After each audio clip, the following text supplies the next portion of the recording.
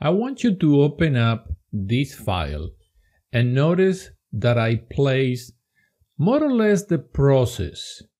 And let me show you a step by step how to go from here, from this circle, to this uh, sub-D object that we are going to use in order to create the table. So first, I will go to create a planar surface.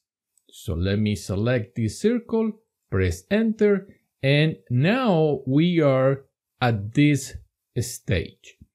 Once you get this one, let me go to the uh, sub-D uh, toolbar and there you find convert to sub-D. So you can select a mesh or a surface and extrusion. This is a face. Enter, enter. Once you have that, we can subdivide, subdivide, and keep on going, keep on going. And you might want to stop there or I want to do another subdivision. So now I am at this stage. So let me hide all of these. Go back to perspective. And I only need, I only need the red. So let me hide the blue sub-D, and work only on this one.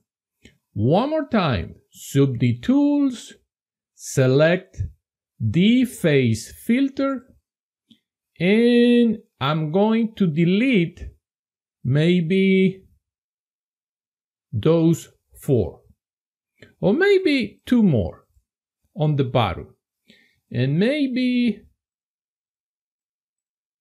those six on the top.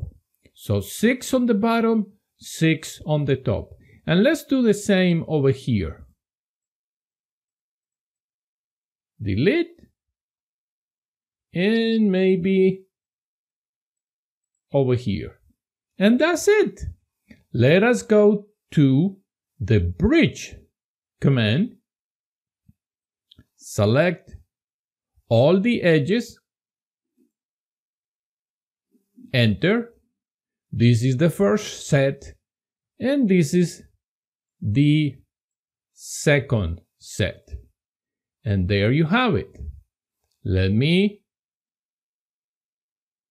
and in this case, let me click inside and with the wheel, increase this one to 7. Let us repeat it. Bridge, select all the edges of the first set, select the edges of the second set, and more or less the same. Perfect. And now that we are here, let me delete sub-D tools, delete maybe this one and maybe that one and bridge those.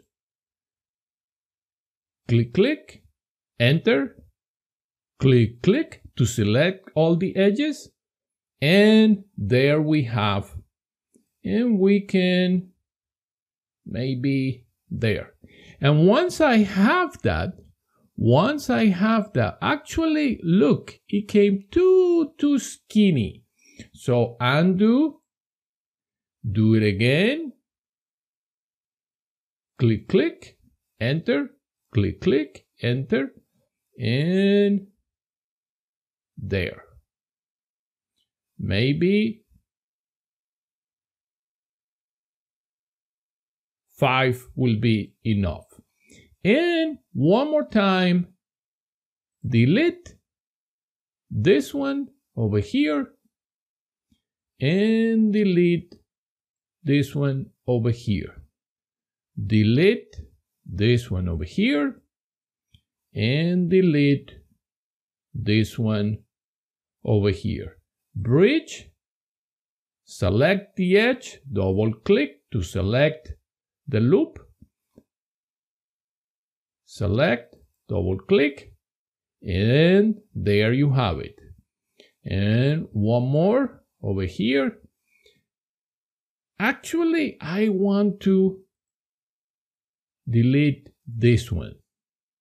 Bridge, click, click, enter, double click, enter, and there you go.